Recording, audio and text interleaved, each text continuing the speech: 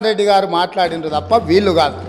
కాబట్టి ఈరోజు వీళ్ళందరూ ఏ పాలకుల గురించి మాట్లాడుతున్నారో ఆ పాలకులు ఇప్పుడు మాట్లాడుతున్న పెద్దలు ఎట్లెమ్మెల్యేనరు వాళ్ళ తండ్రి గారి గురువైన చంద్రబాబు నాయుడు గారి పార్టీతో పొత్తు పెట్టుకుంటే ఆ పార్టీ మద్దతుతో ఆ కడువ కప్పుకొని సిరిసిల్లలో కష్టపడి పనిచేసి నిర్మించుకున్న చీమలు పెట్టిన పుట్టలో పాములు దూరినట్టు కేకే మహేందర్ రెడ్డి అక్కడ పార్టీని నిర్మించుకొని తెలంగాణ ఉద్యమంలో పాల్గొని తెలంగాణ ఉద్యమంలో ముందు భాగం నుండి నిలబడి కొట్లాడితే ఎన్ఆర్ఐ అంటే నాన్ రిలయబుల్ ఇండియన్ కింద మేనేజ్మెంట్ కోటాలో ఇక్కడికి వచ్చి టికెట్ తీసుకొని అక్కడ ఆ కేకే మహేందర్ రెడ్డి గారిని అన్యాయం చేసి ఈరోజు ఇక్కడికి వచ్చిండ్రు కాబట్టి ఈరోజు గతం గురించి అధ్యక్ష ఒకవేళ మా మిత్రులకు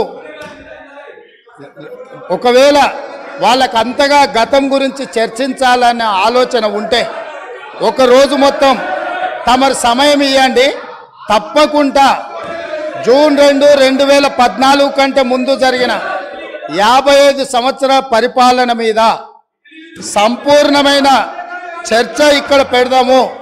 ఈరోజు ఇక్కడ జరుగుతున్న చర్చ ఈరోజు ఇక్కడ జరుగుతున్న చర్చ జూన్ రెండు రెండు వేల పద్నాలుగు నుంచి జరిగిన పరిపాలన చేసిన విధ్వంసము నాయకత్వం యొక్క వ్యవహార శైలి మీద మనం ఈరోజు మాట్లాడుకుంటున్నాము.